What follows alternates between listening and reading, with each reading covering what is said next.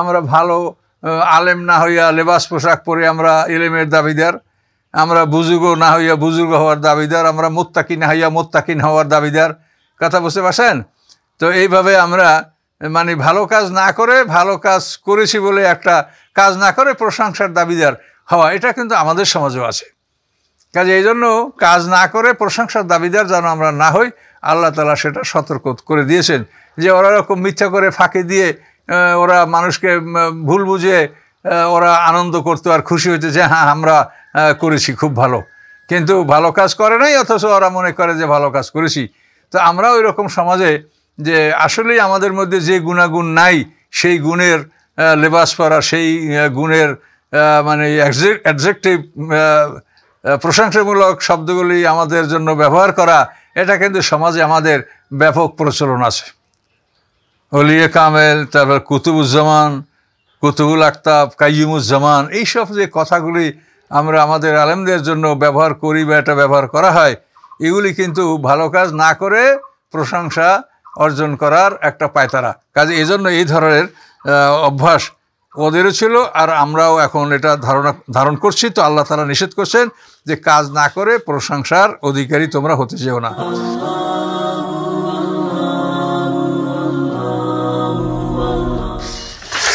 أعوذ بالله من الشيطان الرجيم بسم الله الرحمن الرحيم الحمد لله وكفى وسلام على عباد الذين اصطفى أما بعد সম্মানিত সুধী মণ্ডলী আসসালামু আলাইকুম রহমতুল্লাহ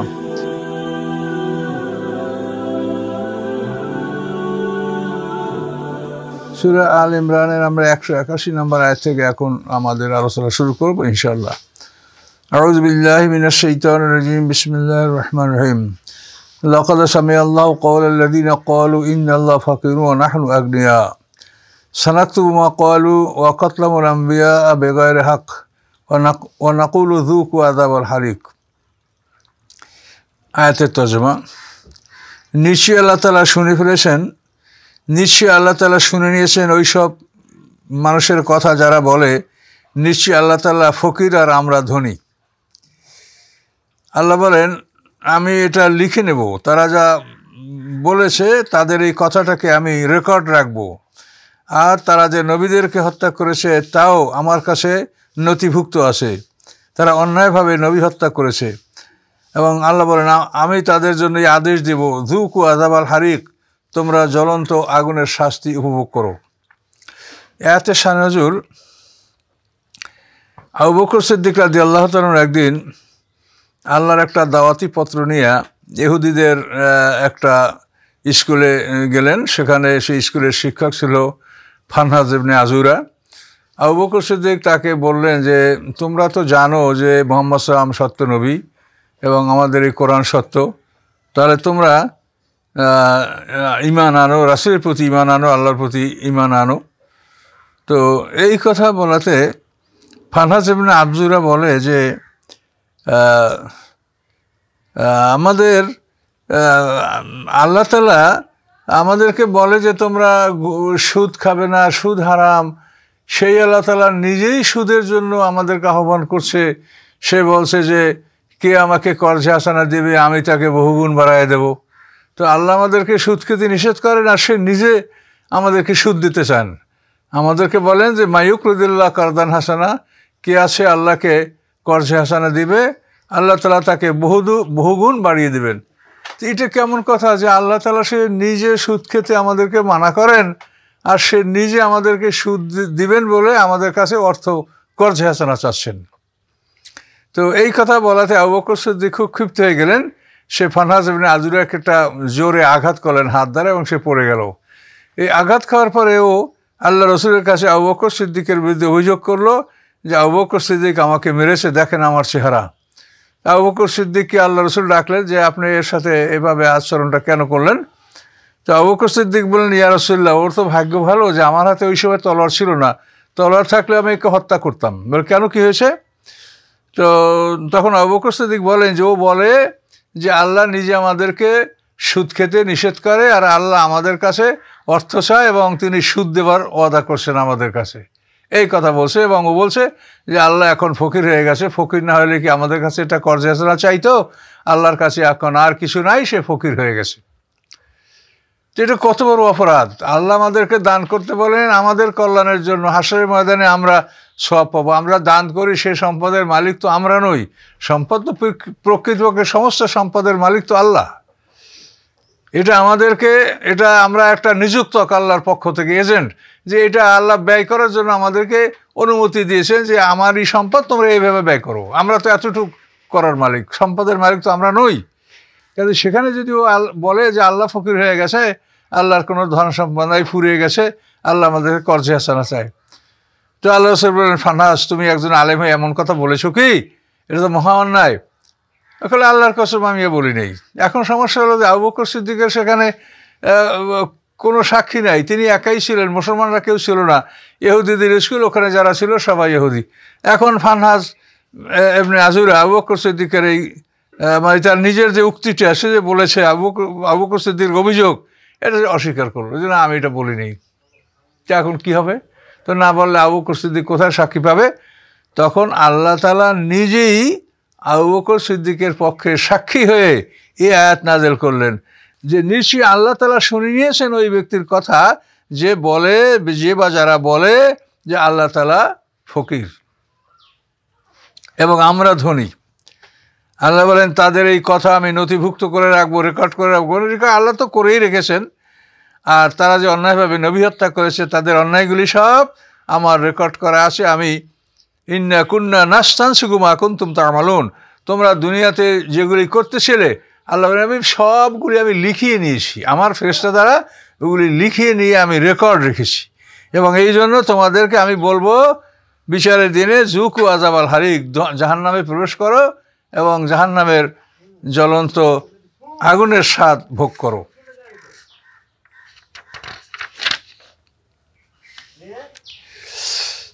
আল্লাহ বলেন জালিকে বামা কদ্দামত দিকুম তাদেরকে যে আমি আদেশ দিব, এটা আগুনে প্রবেশ করার আদেশ দিব, এটা এই জন্য যে এটা তাদের হাতের কামাই, এটা তারা নিজেরাই উপার্জন করেছে। আল্লাহ হিসেবে জল্লাবেন আবিদ। আল্লাহ তালা বিন্দুমাত্র বান্দার উপরে জুলুমকারী নন, তিনি জুলুম করবেন না। প্রত্যেকটা মানুষের উপার্জনের বিনিময়ে তিনি দান করবেন। অকুল্য আমরে মোস্তাকের, প্রত্যেকটা কাজ তার কর্তার জন্য স্থান তৈরি করে। কাজে মানুষ যা করেছে তারই প্রতিফল, তারই যে নির্ধারিত শাস্তি, সেটাই আল্লাহ তাকে দিবেন। আল্লাহ তালা নিজের পক্ষ থেকে কাউকে শাস্তি দিবেন না। শাস্তিটা হবে তার কর্মফল। আল্লাদিনা কল এহুদিদের অপর একটি স্বভাব আল্লাহ এখানে উল্লেখ করছেন। আল্লাদিনা কলু ইন্নাল, ইন্নাল্লাহ আল্লাহ নু উমিনা রাসুরেন হাত্তা ইয়াতিনা কোরবানেন তাকুল হুন্নার যারা বলে যে নিশ্চয়ই আল্লাহ আমাদের সাথে ওয়াদা করেছেন যে আমরা এমন রসুল না আসা পর্যন্ত ইমান আনব না, যে যে রাসুল আমাদের কাছে এমন কোরবানি নিয়ে আসে যে কোরবানি আগুনে খেয়ে ফেলে। আগুনে খেয়ে ফেলা, কোরবানি নিয়ে আসবে রসুল, এই রসুল, এই ধরনের রসুল উপর আমরা ইমান আনব। তো আগুনে কোরবানি খাবে, এই এই কোরবানি নিয়ে যদি কোনো রাসুল আসে, তাহলে আমরা তার উপর ইমান আনব। এটা আমাদের থেকে আল্লাহ প্রতিশ্রুতি নিয়েছেন। এই কথাগুলো বলল কারা? এটা কাবনে আশরাফ, মালেক এমনে সোয়েব এবং জায়দ এমনে তাবুত, ফানহাজ এমনে আজুরা হুয়েবেন আখতাব এই ধরনের যেহুদি সর্দার, তারা একদল লোক আল্লাহ রসুলের কাছে এসে এই কথা বলল যে, আমাদের কাছে আল্লাহ এই অদাই করেছেন, আমাদের থেকে অদা নিয়েছেন যে, এমন রসুল না আসা পর্যন্ত আমরা ইমান আনব না। যে রাসুল কোরবানি নিয়ে আসবে এবং সেই কোরবানিটা আগুনে খেয়ে ফেলবে। তো আগুনে খেয়ে ফেলা কোরবানির বিধান ছিল একেবারে প্রাথমিক যুগে। আদম আলাহিসামের সন্তানরা হাবিল ও কাবিল যখন কোরবানি করেছে, সেই সময় তারা ওই আগুনে খাওয়ার কোরবানি তাদের ছিল। এবং যে কোরবানি আগুনে খাবে, সেই কোরবানি জবের করার কোনো প্রশ্ন আসে না। কোরবানিটা যেটা আপনি ডেডিকেশন বা স্যাক্রিফাইস করবেন, সেটা আপনি একটা উঁচু জায়গায় একটা স্থান নির্ধারিত কোরবানির জন্য থাকে, ওরা নির্ধারিত করে নেয়। সেই জায়গায় ওই কোরবানিটা রাখা হবে। যদি আল্লাহ কবুল করেন, তা আকাশ থেকে একখণ্ড মানে সাদা অগ্নিখণ্ড, আগুনটা হবে সাদা মানে একেবারে সাদা আগুন, এসে ওই কোরবানির ভুড়িটা জ্বালায় দেবে। এটা দিলে বোঝা গেল যে কোরবানিটা কবুল হলো। আর এটা যদি আগুনে পড়ে না দেয়, তাই বোঝা যাবে যে কোরবানিটা কবুল হয়নি। এই কোরবানি ছিল আদল আসলাম থেকে ইব্রাহিম আসলামের পূর্ব পর্যন্ত ইব্রাহিম আসলামকে আল্লাহ তালা জবে করে কোরবানি করতে বলেছেন। তাহলে জবে করার অর্থই হলো খাওয়ার অনুমতি দেওয়া। যদি খাবার অনুমতি না দেওয়া হয়, তাহলে জবে করার প্রশ্ন আসে না। যদি আগুনে পোড়ানো বা আগুনে খেয়ে ফেলার কোরবানি হয়, তো সেই কোরবানি তো জবে করতে হবে না, সেটা তো জীবিত ওখানে রেখে দেওয়া হবে। যেমন হাবিল, হাবিলের দুম্বা, সে জীবিত ওখানে রেখে দিয়েছিল। তাহলে ইব্রাহিম আলাহিসামকে আল্লাহ তালা জবে করে কোরবানি করেছেন, কোরবানি করতে বলেছেন অফাদাইনা হবি দেবেন আউজিম ইসমাইল আসলামকে বড় একটা দুম্বার বিনিময়ে আল্লাহ তালা মুক্তি দিয়েছেন। ইব্রাহিম আসলাম এইটা কোরবানি করেছেন এবং সুরে হজের মধ্যে কোরবানি গোস্ত মানে আমাদেরকে খেতে বলেছেন। তারপরে ধনী, গরিব, পাড়া প্রতিবেশীকে দান করতে বলেছেন। তাহলে ইব্রাহিম আসলাম থেকে কোরবানির গোস্ত খাওয়ার নির্দেশ। তো ওদের মধ্যে, তাহলে ইব্রাহিম আলাহিসাম অন্তত চার পুরুষ পরে হলো বন ইসরায়েলদের আবির্ভাব।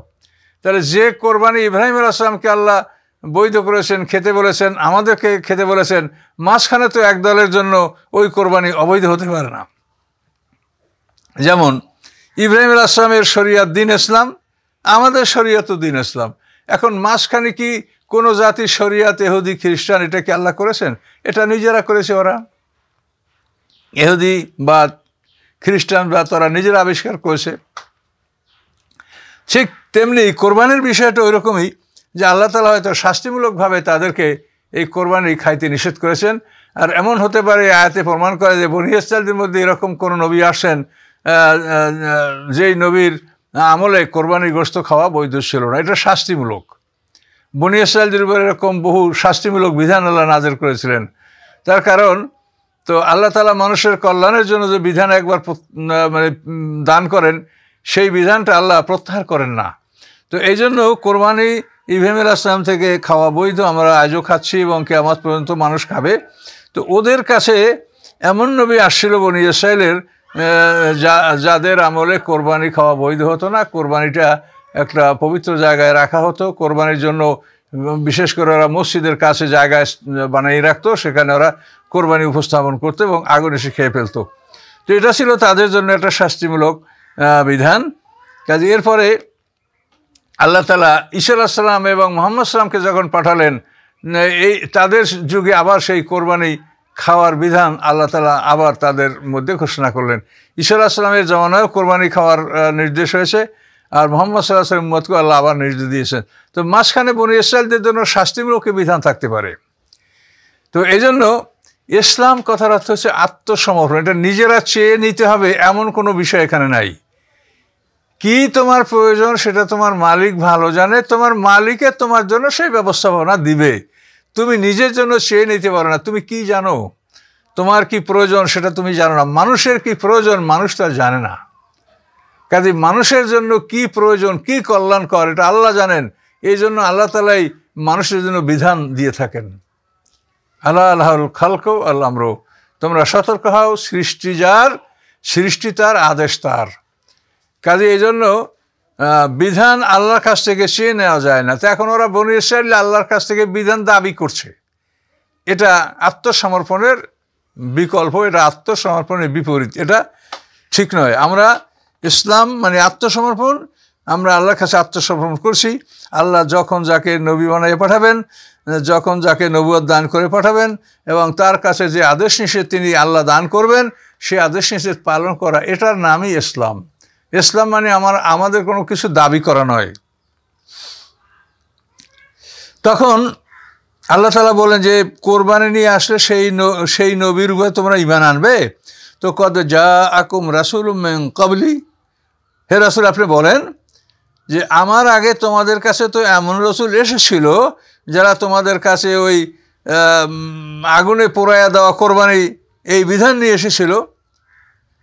তোমরা যা দাবি করো সেই তোমাদের দাবি অনুযায়ী সেই নবী তো ওইভাবে কোরবানির বিধান নিয়ে তোমাদের মাঝে এসেছিল। কিন্তু ফালেমা কাতাল তুমুহুম তোমরা সেই নবীদেরকে হত্যা কেন করেছ? যদি তোমরা সত্যবাদী হয়ে থাকো। যদি তোমাদের দাবিতে সত্যবাদী হয়ে থাকো যে কোরবানি নিয়ে আসা নবীদেরকে আমরা মানব, তাহলে কোরবানি নিয়ে আসা নবীদেরকে তোমরা হত্যা করলে কেমন জাকির সালাম ইহাই আল্লাহ সালাম, তারা তো কোরবানি, আগুনে পোড়াইয়ে ফেলা কোরবানির বিধান নিয়ে আসছিল। তা তোমরা তাদেরকে হত্যা করলে কেন? কাজেই তোমরা মিথ্যাবাদী, তোমরা হলো অযথাই বিতর্ক সৃষ্টি করার জন্য সব কথা বলছো, তোমরা আসলে ইমান আনবে না। কাজেই আল্লাহর আদেশ যে রসুল যা নিয়ে আসবেন এবং আল্লাহ তাদেরকে যা আদেশ নিশ্চিত দিয়া পৃথিবীতে পাঠাবেন, ইমানদারের কাজই হচ্ছে সেই নবীকে বিশ্বাস করা, তার উপর আত্মসমর্পণ করা এবং তার সমস্ত বিধানগুলি মেনে নেওয়া। তো নবীরা যে বিধান নিয়ে আসেন, এটা আল্লাহর বিধান। নবীরা নিজেদের পক্ষ থেকে কোনো বিধান জারি করেন না। এই জন্য আল্লাহ বললেন যে, তোমরা যেটা দাবি করো যে, বনি ইসরায়েলের নবী হলে আমরা ইমান আনতাম, কই বনি ইসরায়েল থেকে তো অগণিত নবী আসে, সেই নবীদের সাথে তোমরা কি আচরণ করেছ? তাদেরকে তোমরা অগণিত নবীকে হত্যা করেছ। কাজেই তোমরা যেটা বলো যে, শেষ নবী যদি বনি ইসরায়েল থেকে আসতো, শেষ নবী যদি ওই রকম কোরবানি নিয়ে আসতো, তাহলে আমরা ইমান আনতাম। তাহলে এগুলি তিনি আসা হয়েছে ইতিপূর্বে, তাদেরকে তোমরা হত্যা করেছ। তাহলে তোমরা কি সত্যবাদী? তোমরা তো মিথ্যাবাদী। তোমরা যেটা চাচ্ছ, ওটা নিয়েই ইতিপূর্বে তোমাদের কাছে নবীল এসেছিল, কিন্তু তোমরা তাদেরকে হত্যা করেছ। শেষ পর্যন্ত আল্লাহ তালা আমাদের নবী মোহাম্মদ সাল্লামকে বলছেন, ফাইন কাদাবুকা আপনাকে যদি ওরা মিথ্যা সাব্যস্ত করে বা মিথ্যা প্রমাণ করার চেষ্টা করে বা অস্বীকার করে, তা আপনি চিন্তা বা দুঃখ করবেন না। ফাকাত কুজে বা রসুল মেন কাবলেক আপনার আগে বহু রসুল এসেছে, যেই রসুলকে তাদের জাতি অস্বীকার করেছে, মিথ্যা সাব্যস্ত করেছে। জাউবেল বাইয়েরাত তারা অনেক উজ্জ্বল প্রমাণ নিয়ে নবী তাদের কাছে এসেছে। যেমন মুসা আল্লাহ সাল্লাম কত উজ্জ্বল প্রমাণ নিয়ে এসছে ঈশা আল্লাহ সাল্লাম কত উজ্জ্বল প্রমাণ নিয়ে এসছে। তা আল্লাহ বলেন, তারা অতি উজ্জ্বল প্রমাণ নিয়ে উম্মতের কাছে আসছিল। বা জুবুর লিখিত কেতাব নিয়ে আসছিল। কেতাবে মুনির এবং আলোকিত কেতাব নিয়ে এসেছিল। কেউ কেউ লিখিত কেতাব নিয়ে আসে, আবার কেউ কেউ অলিখিত কেতাব, যেমন আমাদের নবী। এবং এইভাবে কেউ কেউ অন্য কেতাবের দায়িত্বশীল হয়ে পৃথিবীতে সেই কেতাবের দায়িত্ব পালন করেছেন। কাজী লিখিত কেতাব এবং আলোকিত কেতাব নিয়ে তারা উম্মতের কাছে এসেছেন, কিন্তু উম্মতরা তাদেরকে মিথ্যা সাব্যস্ত করেছে। তো হেরাসুল আপনাকেও মক্কার করা সেটা করছে, এজন্য আপনি দুঃখিত হবেন না। তারপরে, কুল্লু নাফসেন জায়কাতুল মত সবাই মৃত্যুর স্বাদ গ্রহণ করবে। মরার পরে তারা দেখতে পারবে যে তাদের কর্মফলটা কি। কুল্লু নাফসেন জায়কাতুল মত সমস্ত প্রাণী মৃত্যুর স্বাদ গ্রহণ করবে। অন্যামা তুয়াফাউনা উজুরা কুমিয়ামল কেয়ামা, মৃত্যুর স্বাদ গ্রহণ করার পরে তোমাদেরকে প্রকৃত বিনিময় দান করা হবে ইয়ামল কেয়ামা কেমাতের দিন। তোমাদের উজ্জ্বল, তোমাদের পাওনা, অর্থাৎ তোমরা যে শ্রম করেছ, এই শ্রমটার পাওনা তোমাদেরকে কেয়ামতের দিন দিতে হবে। তোমাদেরকে আল্লাহ তালা দিবেন, তোমরা পাবে। কেউ শ্রম করেছে আল্লাহর দিনের পক্ষে, আল্লাহর দিনকে প্রতিষ্ঠা করার জন্য, আর কেউ শ্রম করছে শয়তানি মতবাদ প্রতিষ্ঠা করার জন্য। কাজে আল্লাহ বলেন, তোমাদের পরিশ্রমের বিনিময় তোমরা কেয়ামতের দিন পাবে। কোন পথে পরিশ্রম করছ সেটা সবই রেকর্ড করা আছে। তোমাদের ফেরিস্তা কাঁধে বসে বসে রেকর্ড করছে। কাজেই তোমরা তোমাদের পরিশ্রমের বিনিময় পুরস্কার তোমরা কেয়ামতের দিন পাবে। ফামান জুহজে আনেন নার, যাকে আগুন থেকে দূরে রাখা হবে, ও উদখেলাল জান্না এবং জান্নাতে প্রবেশ করানো হবে ফাঁকাত ফাজ। সেই প্রকৃতপক্ষে জয়যুক্ত হলো অমল হায়াতুদ্দুনিয়া ইল্লা মাতাউল গুরুর। আর দুনিয়ার জীবনটা শুধু পূর্বঞ্চনার আসবাবপত্র। পূর্বঞ্চনার আসবাবপত্র মানে এগুলি টিকবে না, সবই ধ্বংস হয়ে যাবে। দুনিয়ায় আপনি যত কিছু করেন, সব খেলাঘর, খেলাঘরের আসবাবপত্র। এটা একটা নাট্যশালার মতো। নাট্যশালায় যেমন একটা লোককে রাজা বানানো হয়, কিন্তু আসলে সে রাজা নয়। নাট্যশালায় একজনকে প্রজা বানানো হয়, একজনকে হিরো বানানো হয়, একজনকে সেনাপতি বানানো এগুলো সবই মিথ্যা। তো এই দুনিয়ায় এটা এমনই একটা জায়গা, এটা প্রবঞ্চনার মানে আসবাবপত্র এখানে সব। মানে এই আসবাবপত্রের উপরে তোমরা মত্ত থাকবে, তোমরা অরিজিনাল জিনিসটা দেখবে না। তুমি অরিজিনাল জিনিসটা না দেখে এই খেলার আসবাবপত্রের মধ্যে লিপ্ত থাকবে, এর মধ্যে তোমার সময়টা শেষ হয়ে যাবে। তখন দেখবে যে এতদিন যেগুলি নিয়ে তুমি পরিশ্রম করছ, এগুলি ছিল ধোকার আসবাব, খেলার আসবাব, এগুলি কোনো কাজের বস্তু নয়। পৃথিবীর যত আমরা কিছু জোগাড় করি, এগুলি সবই আসলে খেলার বস্তু, খেলনার বস্তু, এগুলো পরকালে কোনো কাজে আসবে এটা আবর্জনা। খেলনা যত টাকা দিয়েই কেনে, সেটা খেলনাই খেলনা। খেলনার গাড়ি রাস্তায় চলতে পারে না। খেলনার জাহাজ আকাশে ওড়ে না। কাজে এই পৃথিবীর আসবাবপত্র আল্লাহ বলছেন, এটা এটা খেলাঘরের আসবাবপত্র। এখানে তোমরা যা কিছু করছ, এগুলি তোমাদের কোনোই কাজে আসবে না। যদি আল্লাহর প্রতি বিশ্বাস স্থাপন করো এবং পয়গাম্বারদের আনুগত্য করো, তাহলেই তোমরা জান্নাত পাবে এবং পুরস্কার পাবে।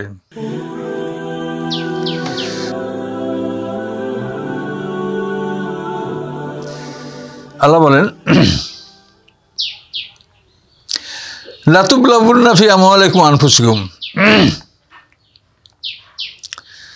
নিশ্চয়ই তোমাদের পরীক্ষা করা হবে তোমাদের জানে এবং মালে। কখনো তোমাদের মাল নষ্ট হবে। কখনো তোমাদের মাল নষ্ট হবে, কখনো তোমাদের জীবন ক্ষতিগ্রস্ত হবে। মানে জীবনে তোমরা হয়তো পঙ্গু হবে, জখম হবে, অথবা কেউ শহীদ হবে। তো আল্লাহ বলেন, তোমাদের জান মালের উপরে পরীক্ষা হবে। এটা আল্লাহর পরীক্ষা। এটা আল্লাহ করবেন। তোমাদের এরকম বিপদ তোমাদের আসবে। তো এটা আগেও আল্লাহ সুরা বাকারার মধ্যে কথা এ ধরনের কথা বলেছেন। আবার এখানেও আল্লাহ তালা বলছেন ওরা তাসমাউন্না মেনাল্লাদিনা উতুল কেতাব এবং কাবলিকুম এবং তোমাদের আগে যাদেরকে কেতাব দেওয়া হয়েছে তাদের থেকে কিছু কষ্টদায়ক কথাবার্তাও তোমরা শুনবে। অমেনাল্লাদিনা আশাকু এবং যারা মোশেক, তাদের পক্ষ থেকেও তোমরা অনেকগুলি কষ্টদায়ক কথাবার্তা শুনবে। আদান কাছিরা অনেক কষ্টদায়ক কথা তাদের থেকে তোমরা শুনবে। তো আল্লাহ বলেন ওয়েন তাসবির ও তাত্তাকু এক্ষেত্রে যদি তোমরা ধৈর্য ধারণ করো এবং তাকেও অবলম্বন করো, তাহলে ফাইন্না জাহাল কামিন আজমিলবুর তাহলে এটাই হবে দৃঢ়তার কাজ, এটাই হবে মানে ধৈর্যশীলদের কাজ। কাজেই তারা যে কষ্টটা দিবে, তাদের কথায় কাজে তোমরা কষ্ট পাবে। কাজেই তোমরা সেখানে ধৈর্যের পরিচয় দিবে এবং ধৈর্য ধারণ করবে। তাহলে এটা আমরা বুঝে নিলাম যে এহুদি আহলে কেতাব এবং মোর্শেকরা আমাদেরকে কষ্ট দিবে। তো এই মোর্শেকদের কষ্ট দেওয়ার ব্যাপারে তাফসির কারকরা এখানে কাব্যেন আশরাফের কথা তুলে কথা বলেছেন। যে এহুদিদের থেকে আমরা কষ্ট পাব আমাদের জানমালের ক্ষতি হবে এবং এহুদিদের থেকে আমরা কষ্ট পাব মোর্শেকদের পক্ষ থেকে আমরা কষ্ট পাব।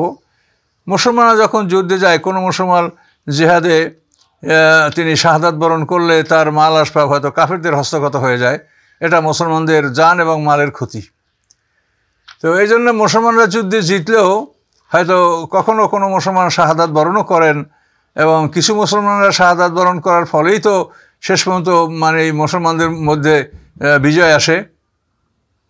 তো এক্ষেত্রে তো আল্লাহ তালা আমাদেরকে বলেছেন যে তোমাদের জানমালের উপরে তোমাদের পরীক্ষা করা হবে এবং আহলে খেতাবদের থেকে এবং মুশ্রেকদের থেকে তোমরা কষ্টদায়ক কথাবার্তা তোমরা শুনবে এক্ষেত্রে তোমরা ধৈর্য ধারণ করবে এবং সবুর অবলম্বন করবে এবং এটাই হবে দৃঢ়তার কাজ তো সম্মানিত শুধু আল্লাহ তালা কোরআন ফাঁকে ঘোষণা দিচ্ছেন এবং আমাদেরকে জানান দিচ্ছেন যে তোমরা তোমাদের যান মাল দ্বারা পরীক্ষিত হবে এহুদি এবং মুর্শিকদের দ্বারা তোমরা কষ্টদায়ক কথা শুনবে এক্ষেত্রে তোমাদের ধৈর্য এবং তাকে অবলম্বন করা এটা তোমাদের জন্য হলো দৃঢ়তার কাজ এবং এটাই হলো মোমেনদের পরিচয় যে এ সমস্ত ক্ষেত্রে তোমরা মানে প্রতিশোধ গ্রহণ করার কতগুলো ক্ষেত্র আছে? যদি কেউ মুখে গালি দিয়ে কার, গালি দেয় এইটার কিন্তু প্রতিশোধ নেওয়ার বৈধতা ইসলামে নাই।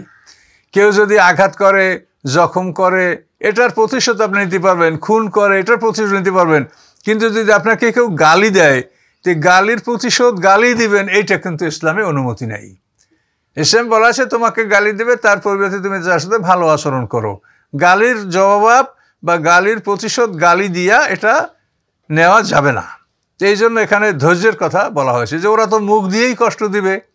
ওরা মুসলমানদেরকে দেখলে সবসময় উপহাস করতো, এই দেখো এই দেখো, জান্নাতি লোকের চেহারা দেখো। মুসলমানদের মধ্যে যারা গরিব, আম্মার সোহেব বেলাল তো এইভাবে যারা গরিব মানুষ, খোবায়েব, তো এদেরকে দেখলে এই দেখো, আবু এই দেখো, মুসলমানদের এই দেখো মোহাম্মদ সাল্লাহামের দলের জান্নাতিদের চেহারা দেখো। হ্যাঁ এইভাবে তাদেরকে উপহাস করা হতো, নানাভাবে কষ্ট দেওয়া হতো। তো আল্লাহ বলছেন যে, এ সময় তোমাদের ধৈর্য ধারণ করতে হবে এবং ধৈর্য ধারণ ছাড়া মানে কোনো খারাপ কাজের জবাব খারাপ কথা দ্বারা এটা দেওয়া যাবে না। তো এখানে তাফসির কারক একটা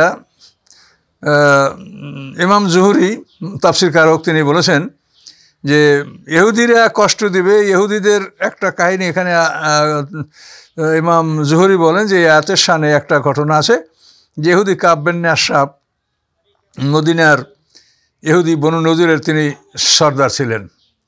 এই কাব্যেন্নে আশরাফ খুব সুদর্শন মানুষ ছিল, সে ভালো কবি ছিল এবং বড় আলেমও ছিল।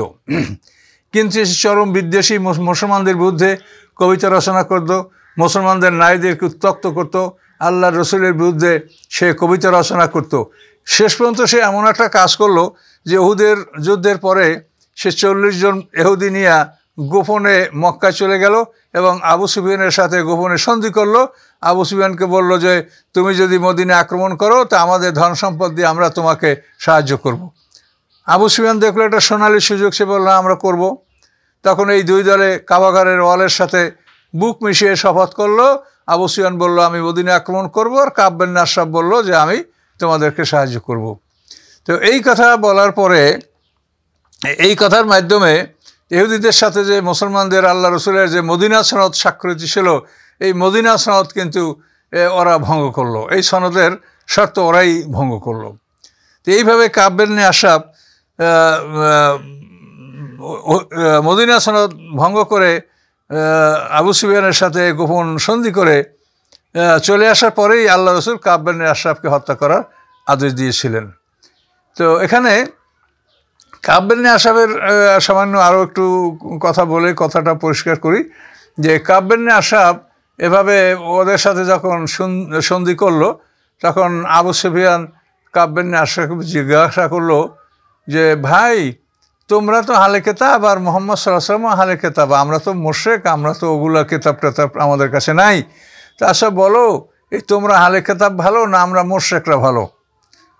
এই মোশেকরা ভালো, এই চিন্তাটা তাদের মনে আসছে কিন্তু মানে আব্রাহার কাবাগর আক্রমণ করার পর থেকে। আব্রাহা ছিল হাল কেতাব। সে যখন কাবাগর আক্রমণ করল, তো আল্লাহ তালা মানে সেই আহলে কেতাব আব্রাহাকে আল্লাহ ধ্বংস করে দিলেন, আর এরা মোশেকরা আল্লাহর কাছে দোয়া করল, রসুলের দাদা আব্দুল মোত্তালিব, যে আল্লাহ, এই হাতির সাথে যুদ্ধ করার ক্ষমতা আমাদের নাই, তো আমরা আপনার হাতে আপনার ঘর রেখে গেলাম, আপনার ঘর আপনি রক্ষা করবেন। এই বলে কিন্তু তারা ওখান থেকে চলে গিয়েছিল। তো এখান থেকে এরা হলো আবরাহা ছিল হালে কেতাব, ও তো আবুসিনিয়া আবুসিনিয়ার পক্ষ থেকে, আবিসিনিয়া তো খ্রিস্টানদের দেশ, এটা রোম সাম্রাজ্যের অধীনে একটা প্রদেশ, আবিসিনিয়া। তো ওই আবিসিনিয়ার অধীনস্থ সেনাপতি ছিল আবরাহা। কাজে এরা খ্রিস্টান। কাজে এই খ্রিস্টানরা যখন কাবাগর আক্রমণ করতে এসে হেরে গেল, আর মোর্শেকরা এখানে মানে আল্লাহর পক্ষ থেকে জয়যুক্ত হলো। এখন জয়যুক্ত মোশেকরা তো যুদ্ধ করে জিতে নাই। এটা আল্লাহর ঘর, আল্লাহ আদা করছেন, আমার ঘর আমি রক্ষা করব। সেই হিসেবে আল্লাহর ঘর, আল্লাহ রক্ষা করছেন। আর মোর্শেকরা এটা ধরে নিয়েছে যেটা আমাদের বিজয়। এই থেকে মোর্শেকদের মধ্যে একটা অহংকার যে হালে খেতাবদের চাইতে আমরা ভালো। বিষয়টা কোথায় চলে গেল? আল্লাহ তার ঘর রক্ষা করার প্রতিশ্রুতি দিয়েছেন। আসমানি কেতাবের মধ্যে কোরআন আর আল্লাহর যতগুলা ঘর মসজিদ, এর মধ্যে বাইতুল্লাহ। এই দুইটার হেফাজতের দায়িত্ব আল্লাহ নিজে নিয়েছেন। কাজে আল্লাহ তার ওয়াদা অনুযায়ী তার ঘরকে রক্ষা করেছেন আর মোর্শেকরা মনে করছে যে আমাদেরকে আল্লাহ জয়যুক্ত করেছেন, আমরা ওদের সাথে ভালো। এই ধারণাই ওরা কাব্যের আশরাফকে প্রশ্ন করল যে তোমরা ভালো না আমরা ভালো। তখন কাব্যের আশরাফ বলে, তোমরা কি করো? তোমাদের কাজ কি? বলে, আমরা কোরবানি করি, হজ করি, হাজিদেরকে পানি পান করাই এবং আমরা কাবাঘরকে হেফাজত করি, পরিষ্কার পরিচ্ছন্ন রাখি। এই কাবাঘরের চাবি আমাদের কাছে কাবাঘরের যাবতীয় দায় দায়িত্ব আমরা পালন করি। তো তখন কাব্যিন আশরাফ বলে, এই যে এটা তোমরা করো, তাহলে তো তোমরাই ভালো। তখন আবু সিবিয়ান বলল, যে আমরা যদি ভালো হই, তাহলে তুমি আমাদের দেবদেবীদের সামনে একটা সেজদা করো তখন কাব্যেন আশরাফ বাধ্য হলো এবং তাদের দেবদেবীর সামনে কাব্যেন আশরাফ সেজদা করল এবং এই সেজদা করা মানে সে সম্পূর্ণ মানে মোশেক হয়ে গেল, সে আর হালে কেতাব থাকল না। তো এমন তো অবস্থায় আল্লাহ তালা কোরআন পাকে অন্যত্র আয়াত নাজল করেছেন, আলম তারা ইলাল্লাদিন উতু নাসিব নাসিবাল কিতাব মিনুন জিপ্তি তাগুত। আল্লাহ বলেন, হে রাসুল, আপনি কি তাদেরকে দেখেছেন? যাদেরকে আসমানি কিতাবের একটা অংশ দেওয়া হয়েছে, অথচ তারা ইমান রয়েছে জিপ্ত এবং তাগুতের উপরে। জিপ্ত হলো জড়পদার্থের মূর্তি আর তাগুত হচ্ছে ওই রকম নেতা যারা নিজে আল্লাহর দিন মানে না এবং যারা আল্লাহর দিন মানে তাদেরকে শাস্তি দেয়, তাদেরকে ফিরানোর জন্য তারা আপ্রাণ চেষ্টা করে। এরা হচ্ছে তাগুত। তাহলে জিপ্ত হলো কাবাগরের মূর্তি আর তাগুত হচ্ছে আবু সিবান এবং তার সাথীরা। তো ওরা জিপ্ত এবং তাগুতের উপরে ইমান এনেছে, কাব্যের নাসাব তো আর আমাদের আল্লাহ নির্দেশ দিয়েছেন যে তোমাদের কলেমে লা, এই লা শব্দ উচ্চারণের মাধ্যমে তোমরা জিপ্ত এবং তাগুতকে অস্বীকার করবে। স্পষ্ট করে আল্লাহ বলেছে ফামাইয়া করবে তাগুতে ওয়ুপিল্লায় ফাঁকা দিস্তাম সাকাবেল উরওয়াতুল উস্কা। যে তাগুতকে অস্বীকার করবে এবং আল্লাহর প্রতি ইমান আনবে। তো এখানে এই সুরায় বাকার আয়াতাল কুরসির আয়াতাল কুরসির আগেই এই আয়াতটা ফামাইয়া করবে তাগুতে ওয়ুপিল্লা তাগুতকে যে অস্বীকার করবে, আল্লাহর প্রতি যে ইমান আনবে, সেই ফাঁকা দিস্তাম সাকাবেল উস্কা সে মজবুত রজ্জুকে ধারণ করল। অর্থাৎ সে আল্লাহর সাথে কঠিন সম্পর্ক স্থাপন করল। তাহলে আল্লাহ বলছেন কোরআনে যে তাগুতকে অস্বীকার করতে হবে, আগে তারপর আনতে হবে ইমান এই জন্য আমাদের কলমায় লা শব্দটাকে লা মানি না, আমরা তাগুতকে না করছি। তো এটা অন্য প্রসঙ্গ, তো এখন আমরা এখানে সংক্ষিপ্ত আকারে ফিরে আসি। যে এভাবে কাব্যেন্নে আশরাফ আবু সুবিয়ানের সাথে গোপনে সন্ধি করল আর মদিনা সনদ এর চুক্তি ভঙ্গ করে সে বিশ্বাসঘাতকতা করল, সে হত্যার উপযুক্ত হয়ে গেছে আইনে, বিধানে। আবার সে মোশেক হয়ে গেছে, দিন ত্যাগ, তার যে হুদি ধর্ম, সে ধর্ম ত্যাগ করে মোশেক হয়েছে। এই বিভিন্ন কারণে আল্লাহ রসুল সাহাবিদেরকে ডেকে বললেন যে, তোমরা কে আছো? যে আমাকে সাহায্য করতে পারো, কি সাহায্য? যে আমার, আমাকে যে কষ্ট দিচ্ছে, মুসলমানদের কষ্ট আব্বেন না সাপ তোমরা কেউ কি তাকে হত্যা করতে পারো? এমন কোনো কেউ তোমরা আছো? তোমাদের কাছে এমন কোনো কৌশল বা ক্ষমতা আছে কি? তো সাহাবা একরামদের মধ্যে মোহাম্মদ মাসলাম আনসারি সে দাঁড়ায় বলল, ইয়া রসুল ইয়া রসুল্লাহ এটা আমি করতে পারব। তখন আল্লাহ রসুল বলছেন যে যদি তুমি পারো তো করো, তুমি চেষ্টা করো, দেখো। তো মোহাম্মদ ইবনে মুসলাম আনসারি বাড়ি যাওয়ার পর এখন তার খানাপিনা বন্ধ হয়ে গেল। মানে এমন অস্থির তার মধ্যে, এমন অস্থিরতা যে সে এখন খানা পানি বন্ধ মানে খানা তার পেটে যা, মুখে যাচ্ছে না। আল্লাহ রসুল তাকে জিজ্ঞাসা করলেন যে মুহাম্মদের মুসলামা কী হয়েছে তোমার? তুমি এত খারাপ অবস্থায় কেন? তখন তিনি বললেন যে, ইয়া রসুল্লাহ আপনার সাথে আমি ওয়াদা করেছি তো কি আমি করব? যে আমি এখন চিন্তা করে বের করতে পারছি না যে কি করে আমি এই কাজে যুক্ত হব।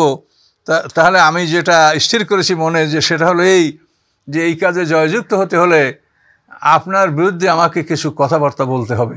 তো এই কথা যদি আমি বলি তাহলে আমি কি মোমেন থাকব না কাফের হয়ে যাব? এই চিন্তাই আমার খানাপিনা বন্ধ হয়ে গেছে। আপনার বিরুদ্ধে কিছু কথাবার্তা বলার অনুমতি না পেলে আমি ওকে কাবু করতে পারব বলে মনে হচ্ছে না।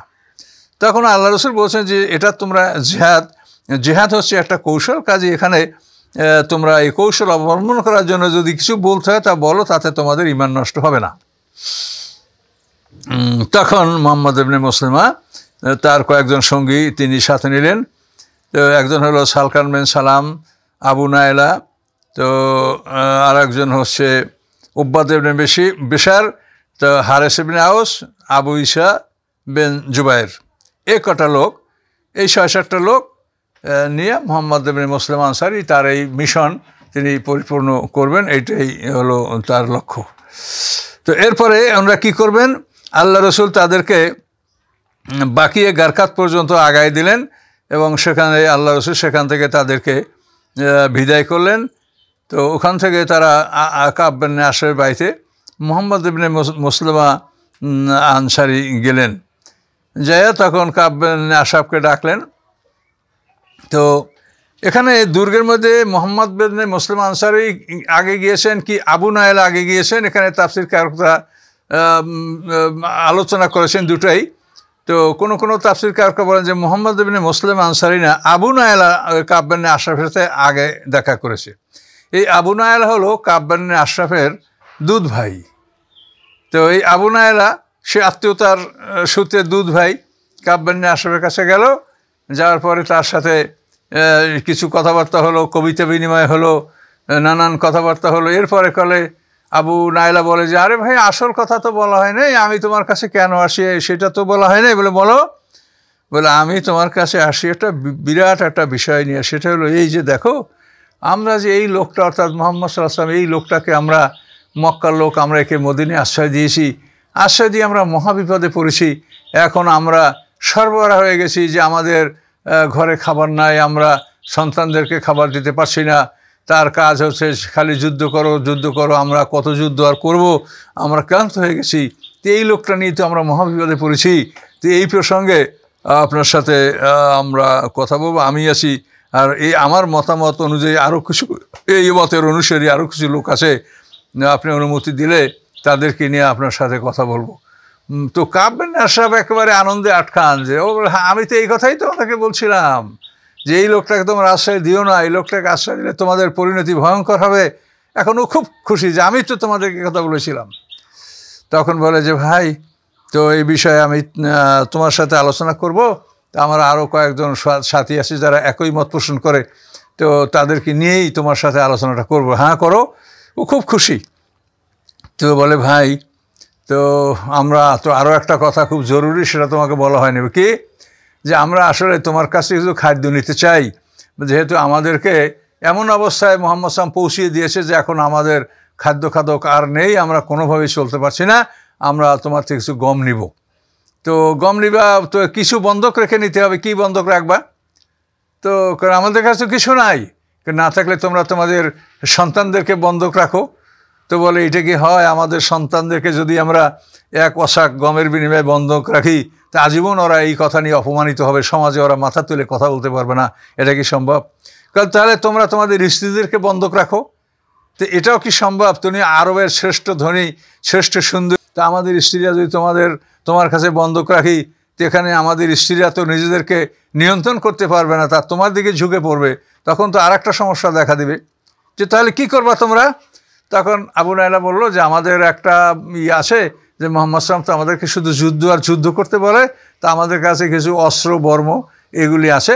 তুমি যদি বলো, তো এই কিছু অস্ত্র, বর্ম তোমার কাছে বন্ধক রেখে আমরা তোমার কাছে কিছু গম নিব।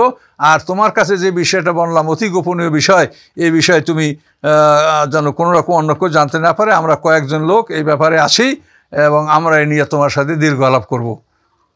তখন মোহাম্মদ তখন কাব্যানী আশা বলল যে অন্য কিছু যদি তোমাদের কাছে মানে রেহেন বন্ধক রাখার মতো নাই থাকে, তা তোমরা আশ্রয় নিয়ে আসো, সেগুলো বন্ধক রেখে তোমাদেরকে আমি গম দিব। এই কিন্তু ওরা মুসলমানরা অস্ত্র নিয়ে আসার অনুমতি পেয়ে গেল। এখন আবু নাইল আইসা মোহাম্মদ মুসলিম আনসারি, তারপর ওই তারপর সালকান বিন সালাম, তারপরে উব্বাদ ইবনে বেশার হ্যাঁ হারেস ইবনে আওস আবু ইসা ইবনে এদেরকে নিয়ে অস্ত্রসহ আবু নাইলা বলল যে অস্ত্রসহ আমরা ওখানে যাওয়ার অনুমতি পেয়েছি। তা আবু নাইলা ফিরে আসলো, ফিরে আসার পরে এদেরকে অস্ত্রসহ এরা সবাই গেল। তখন কিন্তু রাত হয়ে গেছে। রাতটা ছিল পূর্ণ চাঁদনি রাত। এবং কাব্যান্নে আসাব তখন বিষ্ণায় তার নববিবাহিত স্ত্রী নিয়ে শুয়ে পড়েছিল, ইতিমধ্যে ওই আবু নায়রা যে ডাক দিল যে, ভাই, আমরা আসি তখন কাব্যান্নে আশরাফ ডাক, ডাকে সারা দিল এবং বলল যে, কে? যে আমি। তখন ওর স্ত্রীকে বলে যে, দেখো আমার দুধ ভাইয়ার, আমার অত্যন্ত বন্ধু মানুষ। তো এদের ডাকে আমার সারা দিতে হচ্ছে, আমি উঠব। কিন্তু স্ত্রী বলল যে, তুমি এই রাতে উঠো না, তুমি দেওয়ালের উপর থেকে স্বাদের উপর থেকে কথা বলো। তোমার এই রাতে বাইরে বের হওয়া, এটা আমি নিরাপদ মনে করছি না। তো কাব্যের আশা বলে, তুমি কি বলো? এরা এমন যে আমাকে তারা ঘুম থেকে উঠেও কথা বলতে পারে। এরা আমার অত্যন্ত বন্ধু মানুষ, আমার দুধ ভাই। এই বলে কাব্যের আশাব কারও কথা না শুনে বের হয়ে পড়ল। বের হওয়ার পরে এখন ওই কাব্যের আশাবের সাথে তারা কথাবার্তা, ওই কথাই যে, মোহাম্মদ সাল্লাহ আসলামের কারণে আমরা খুবই বিপদগ্রস্ত আছি ভাই। কি করব, কি প্ল্যান নিব আমরা বুঝতে পারছি না। তো এইভাবে এই বিষয়ে আলোচনা করার জন্য আমরা একটু দীর্ঘ সময় আপনার সাথে বসে বসে আমরা আলোচনা করতে চাই। চাঁদনি রাত, আমরা এই বিষয়ে আপনাকে নিয়ে একটা সিদ্ধান্ত গ্রহণ করতে চাই। তো চলেন আমরা এই চাঁদনি রাত্রি আগাই। সামনে আজুদ নামক উপত্যকা পর্যন্ত আমরা যাই এবং সেখানে সেখান থেকে সেখানে যেতে যেতে আমরা কথা বলতে থাকব। আর সেখানে বসে আমরা আলাপ আলোচনা করে প্রয়োজনে আজকে রাতটা কাটাই দেবো যে কীভাবে আমরা এই মোহাম্মদ সাল্লামের বিষয়ে আমরা কি সিদ্ধান্ত নিতে পারি। তো খুব মনের খুশি। ও মনের খুশি হ্যাঁ, ঠিক আছে আজুদ পর্যন্ত যাব। তো এভাবে রওনা করে ওরা চলতেছে গল্প করতেছে আর ওকে ফুলাচ্ছে। হ্যাঁ ভাই আপনার শরীর থেকে এমন সুন্দর ঘ্রাণ আসে তো এগুলো তো আমরা কোনোদিন এত সুন্দর ঘ্রাণ শুঁকতে পারিনি। তো আপনার এই মাথায় কি সুগন্ধি ব্যবহার করেছেন? আপনার মাথায় হাত দিয়ে আমি একটু সুগন্ধি নেব, চুলের মধ্যে হাত দিয়া। তো আবু নাইলা বলল, তো কা হ্যাঁ তুমি নাও। তখন আবু নাইলার মাথার চুলের মধ্যে হাত ঢুকা দিল যে হ্যাঁ হাত ঢুকে আর সাংবাদিকদেরকে দেখো তো এই দেখো, কত সুন্দর, কত সুগন্ধি ভালো। তো খুব ও প্রশংসায় ফুলছে। হ্যাঁ খুব ভালো। এরপরে কতক্ষণ পরে আবু নাইলা আগেই বলে রেখেছিল যে আমি যখন ওর মাথার চুল ধরে কাবু করতে পারব, তখনই তোমরা আক্রমণটা করবে। তো এরপর দ্বিতীয়বার আর একবার একটু শুকবো সুগন্ধি নেব কাহা নাও। এবার দ্বিতীয়বার সুগন্ধি নিল, নিয়ে শুকলো, আর ওর প্রশংসা করল। এরপর এভাবে আগাতে আগাতে যখন আর একবার বলল যে, আর একটু সুরঙ্গ সুগন্ধি নিবো? নাও। এই তৃতীয়বার সুগন্ধি নিতে গিয়া আবু নাইলা তার চুলের মুঠি শক্ত করে ধরেই অর্ডার দিল যে, তোমরা আক্রমণ করো। তখন ওরা একই সঙ্গে আক্রমণ করল, কিন্তু অনেকগুলি তরোয়ার পরস্পর সংঘাতে এই আক্রমণটা জয়যুক্ত হলো না, কিন্তু ওই কাব্যেন সাহেব এত জোরে চিৎকার করল যে ওর চিৎকারে ইহুদির ইহুদি দুর্গের সকল বাড়িঘরে সবাই আলো জ্বালালো কী হলো? কিন্তু বাইর হলো না কেউ, সবাই আলোই জ্বালালো, ভিতরে বাইর হলো না কেউ। এভাবেই তো এভাবেই কাব্যেন আশরাফ করা ধরলো এবং দ্বিতীয়বার আঘাতের মানে ওরা চেষ্টা করল। তখন মোহাম্মদ বিন মুসলিম আনসারি বলেন যে আমার কাছে একটা চিকন তলোয়ার ধারা ধারালা ধারালা চিকন তলোয়ার ছিল, তো আমি ওই তলোয়ারটা বের করলাম, বের করে ওর দুধের উপর থেকে আমি আঘাত করে মানে ওখান থেকেই তলোয়ারটা ঢুকাই দিলাম এবং পিঠের উপর থেকে যখন এই তলোয়ারটা পার হয়ে গেল, তখন এই আল্লাহ দুশ্মন স্তব্ধ হলো, শান্ত হলো, তার মৃত্যু নিশ্চিত হলো। তো এইভাবে আমরা করলাম, কিন্তু আমাদের একজন সাথী হারেস ওই হারেস এমনি আওস, সে- তার মাথায় আঘাত পেয়েছিল। আমাদের নিজেদের তলোয়ারেই সে মাথায় আঘাত পেয়েছিল। তার মাথার থেকে রক্ত ঝরছিল। তো ওখানে বসে আমরা কাব্যান্নে আসামের মস্তিষ্ক কেটে, এই মস্তিষ্ক নিয়ে আমরা আল্লাহ রসুল দিকে রওনা হলাম। আর হারেস উনি আমাদের পিছনে ছিল। অনেক দূরে গিয়ে আমরা তার জন্য অপেক্ষা করলাম। পরে সে আসলো, আসার পরে তাকেও আমরা তুলে নিলাম। এইভাবে আমরা সেই বাকি গারকাত যেখানে আল্লাহ রসুল আমাদেরকে বিদায় করেছেন, ওইখানে যাওয়ার পরে আমরা রাত্র প্রায় তখন শেষ রাত্র, আমরা সেইখানে যে নারায় তাকবির দিলাম। আল্লাহ রসুল বুঝতে পারলেন যে আমরা মিশনে সাকসেসফুল হয়েছি। আমরা আল্লাহ রসুলের কাছে গেলাম, আল্লাহ রসুল তখন দোয়া মনোজাতি লিপ্ত ছিলেন। এমত অবস্থা আল্লাহ রসুলের কাছে আমরা তার মস্তিষ্ক উপস্থাপন করলাম জিয়া রসুল্লাহ এইভাবে কাব্যেন্নে আসাব এই দেখেন কাব্যেন্নে আসাবের মাথা। তো আল্লাহ রসুল তাদের জন্য দোয়া করলেন এবং যে সাহাবি হারেস, উনি মাথায় আঘাত পেয়েছিলেন। আল্লাহ রসুল থুথু দিয়া তার মাথায় হাত বুলালেন ফলে তার মস্তিষ্কের আঘাত আল্লাহ ভালো করে দিলেন। এভাবেই ভালো হয়ে গেল এবং কাব্যেন আসাব এভাবে নিত হয়ে যাওয়ার পরে এহুদিরা নিশ্চিত হলো যে মুসলমানরা আমাদের যে কোনো নেতাকে হত্যা করতে তারা সক্ষম। এভাবে ইহুদিরা আহ, মানে মোটামুটি তাদের মনোবল হারালো এবং কোরআন ফাঁক আল্লাহ বলেছেন যে ফাকোয়াতিলু আহম্মাত আল কুফ লাল্লাম ইয়ান্তাহুন। যে সুরে তবার মধ্যে আল্লাহ বলেছেন যে, তোমরা কাফেরদের নেতাদেরকে হত্যা করো, তাহলেই সবাই ফিরে আসতে পারে। সবাই বিরত থাকতে পারে। কাজে নেতাদেরকে হত্যা করলে অন্যরা কিন্তু আর মাথা তুলতে সাহস করে না। এইভাবেই কাব্যেন আশরাফকে হত্যা করা হয়েছে। তো ইহুদিরা যেভাবে অন্যায় করেছে, আল্লাহ রসুল তাদের থেকে সেভাবে প্রতিশোধ গ্রহণ করেছেন এবং প্রতিশোধটা এটা রাষ্ট্রীয় আইনে এবং আল্লাহর বিধান উভয় দিক থেকেই ন্যায়সঙ্গত। যেহেতু রাষ্ট্রীয় আইনে একটা দেশের বিরুদ্ধে যদি কেউ ষড়যন্ত্র করে, সেই দেশে দেশে একটা দেশকে অন্য দেশের লোক আক্রমণ করবে, এভাবে যদি আহ্বান করা হয়, যেটা পৃথিবীর যে কোনো আন্তর্জাতিক আইনে সে মস্ত বড় অপরাধী এবং সে হত্যার যোগ্য যে নিজের দেশ সেই দেশে শত্রুরা এসে আক্রমণ করবে এবং শত্রুদেরকে সাহায্য করা হবে, এই প্রতিশ্রুতি যদি কেউ দেয়, তাহলে সে মানে ইসলামী আইন ছাড়া এমনিও জেনারেল আইনে, সাধারণ আইনেও সেই লোকটা দোষী সাব্যস্ত হবে।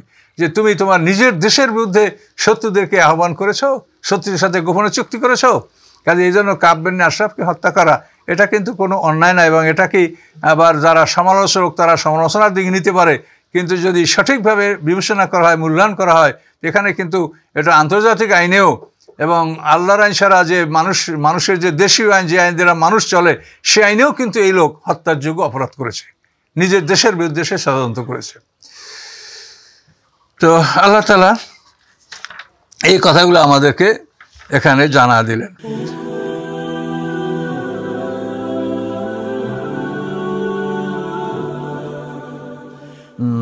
ওয়াজ আখাদাল্লাহ মিসাকাল্লাদিন উতুল কেতাবা, স্মরণীয় ঘটনা যখন আল্লাহ তালা প্রতিশ্রুতি নিয়েছিলেন আহার কেতাবদের থেকে লাতুবাই ইরুন্নাহুলেন নাস যে তোমাদের কাছে আসমানি কেতাবের যে কথাগুলি আছে, মানুষের উদ্দেশ্যে সেগুলি তোমরা প্রকাশ করে দিবে। ওলা তাক তুমু নাহু কোনো অবস্থায় তোমরা সেই কথাগুলিকে লুকাবে না, গোপন করবে না। এই কথা আল্লাহ বলেছেন, এই কথার উপর আল্লাহ প্রতিশ্রুতি নিয়েছেন। ফানবাজুহু ওরা জুহুরিম, এই এই প্রতিশ্রুতিকে তারা পিঠের পিছনে নিক্ষেপ করে দিয়েছে। অস্তারবি সামানানকারীরা এবং এর বিনিময়ে তারা দুনিয়ার সামান্য স্বার্থ গ্রহণ করেছে। বা বেশ আমা ইয়াস্তারুন অতি নিকৃষ্ট জিনিস যা তারা খরিদ করেছে। এখানে আল্লাহর প্রতিশ্রুতিকে গোপন করে প্রতিশ্রুতি আল্লাহ প্রকাশ করতে বলেছেন, গোপন করতে নিষেধ করেছেন। তো আল্লাহর প্রতিশ্রুতি অর্থাৎ মোহাম্মদ এর বিষয়, কোরআনের বিষয় তরাতে ইঞ্জিলে যে কথাগুলি আছে, এইগুলিকে আল্লাহ বলছেন প্রকাশ করতে, ব্যক্ত করতে, মানুষকে বলে দিতে। তো এগুলি তারা না বলে গোপন রেখে কী করছে? সামান্য স্বার্থ। অর্থাৎ ওরা ওই এহুদিদের যে যে ধরনের তাদের জীবিকা উপার্জনের পন্থা, যে ওরা কাজ করে খাবে না, ব্যবসা করে খাবে না, ওরা খাবে, নিম্ন শ্রেণির লোকদেরকে টাকা তুলে খাবে। যেমন আমাদের সমাজেও এক শ্রেণির আলেমরা আছেন যারা ধর্মের দোহাই দিয়েই সব জীবনের আয় বাণিজ্য এবং এই দিয়েই তারা খান এবং এটাই তাদের ব্যবসা মানে ধর্ম ব্যবসা তো এই এহুদিদের মধ্যে এই ধর্ম ব্যবসাটা ব্যাপকভাবে ছিল এবং এটা তো আস্তে আস্তে আমাদের মধ্যে প্রবেশ করেছে। আল্লাহ আমাদেরকে রক্ষা করুক এবং আপনারা ওটা বোঝার চেষ্টা করেন। তো আল্লাহ বলেন, এটার বিনিময়ে তারা সামান্য মানে সামান্য কিছু লাভ করছে। সামান্য লাভ হলো যে বিনা বিনা শ্রমে তারা নিম্ন শ্রেণির লোকদের থেকে তারা তাদের জীবিকাটা অর্জন করতে পারছে। আগের নিয়মে, সাধারণ নিয়মে।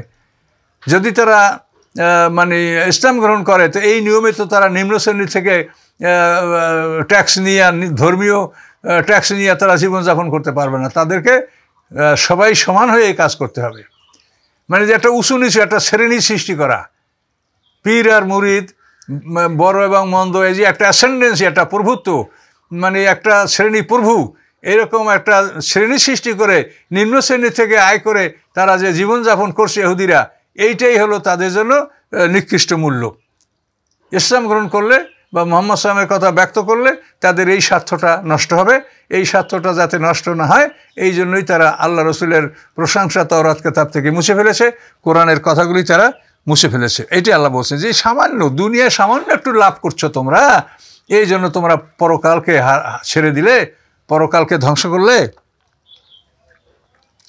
ওলা তাহাসাবান্লাদিন ইয়ফরাহুনা বেমা আতাও ওই হিব্বুন আয়ুহ মধু বেমা লামিয়া ফালু আল্লাহ বলেন তারা যেন ধারণা করে না, তারা যেন ওলা তাহসামান্লাদিন ইয়ফরুল বেমা আতাও মানে তারা এমন কাজ করেছে যে ওলা তাহসাবান্লাদিন ইয়ফরাহুনা বেমা আতাও তারা যা করেছে তাতে তারা যেন সন্তুষ্ট না হয়, যে আমরা খুব ভালো কাজ করেছি। কি ভালো কাজ করেছি? যে আমরা কোরআনের সত্যতা গোপন করেছি, মোহাম্মদ সাহেবের প্রশংসা গোপন করেছি। তো এই জন্য এই কাজ করে তারা যেন মনে করে না যে আমরা খুব ভালো কাজ করেছি, খুব আনন্দ করেছি, খুশি। এতে আনন্দ তারা যেন প্রকাশ না করে। এবং এই লোকগুলি কি করে? ওই হেব্বুন আয়ু মাদু বেমালাম ইয়া ফালু তারা প্রশংসা কুড়াতে চায়, কাজ না করে। সত্য কাজ করে নাই, অথচ মানুষকে বলে যে আমরা সত্য কাজ করেছি। ভালো কাজ না করে ভালো কাজের প্রশংসা। যুদ্ধে না গিয়ে মিথ্যে ওজোর খাই করে তারা আত্মরক্ষা করে খুব আনন্দিত। তো এইভাবে একটা ভালো কাজ না করে, সত্যকে গোপন করে, মানুষকে ভুল বুঝে, মানুষকে ফাঁকি দিয়ে তারা মনে করে যে আমরা মানে এটা ভালো কাজ করেছি। মানে না করে ভালো কাজের দাবিদার হওয়া। আল্লাহ বলেন, এটা তাদের জন্য মহা অন্যায়, এটা যেন তারা না করে। আল্লাহ বলেন, ফালা তাহাজাফান্ন বে মাফাজাতে মেনার আজাব এই লোকগুলি শাস্তির থেকে রক্ষা পাবে, এরকম যেন তারা ধারণা না করে, তাদের জন্য আজাবুন আলিম বেরোদনাদায়ক শাস্তি রয়েছে। ভালো কাজ না করে প্রশংসা নেওয়ার অভ্যাস এটা আমাদের মধ্যেও আছে। আমরা সঠিকভাবে নামাজি না, অথচ খেতাব আমাদের মুসল্লি। আমরা ভালো জানি না, তারপরও আমরা কামেল। আমরা কামেল কি? কোন মানুষটা কামেল হতে পারে? কামেল কাকে বলে? আমাদের সমাজে আমরা অনেকগুলি ফরজ আদায় করতে ব্যর্থ। কাজে একটা মানুষ যখন শরীয়তের ফরজ আদায় করতে পারে না, সেই মানুষটা নিজেকে কামেল বলতে পারে। তাহলে এখন নিজে আমরা শরিয়াতের পূর্ণাঙ্গ শরিয়াত পালন করতে পারছি না। না পারার কারণটা অন্য, কিন্তু আমরা পারছি না বলে আমাদের মধ্যে তো একটা দুর্বলতা থাকবে। কিন্তু আমরা ওই কাজ না করে প্রশংসা মানে আমরা কামেল না হইয়া মানে আমরা কামেলের দাবি, আমরা ভালো আলেম না হইয়া লেবাস পোশাক পরে আমরা এলেমের দাবিদার, আমরা বুজুর্গ না হইয়া বুজুর্গ হওয়ার দাবিদার, আমরা মোত্তাকিন হইয়া মোত্তাকিন হওয়ার দাবিদার। কথা বুঝতে পারছেন? তো এইভাবে আমরা মানে ভালো কাজ না করে, ভালো কাজ করেছি বলে একটা কাজ না করে প্রশংসার দাবিদার হওয়া, এটা কিন্তু আমাদের সমাজেও আছে। কাজে এই জন্য কাজ না করে, প্রশংসার দাবিদার যেন আমরা না হই, আল্লাহ তালা সেটা সতর্ক করে দিয়েছেন যে ওরা রকম মিথ্যা করে ফাঁকি দিয়ে ওরা মানুষকে ভুল বুঝে ওরা আনন্দ করতো আর খুশি হইতে যে হ্যাঁ আমরা করেছি, খুব ভালো। কিন্তু ভালো কাজ করে নাই, অথচ ওরা মনে করে যে ভালো কাজ করেছি।